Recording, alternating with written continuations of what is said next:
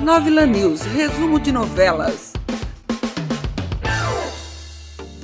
Nos tempos do imperador, capítulo 115.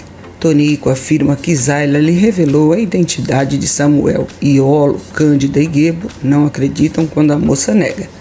Luísa pode se complicar por ter dado a Samuel uma carta falsa de alforria.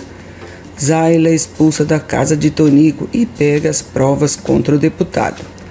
Lota pega dinheiro emprestado com Lupita e trama contra rival. Quinzinho, Prisca e Hilário conseguem fazer Vitória desistir de denunciar Clemência.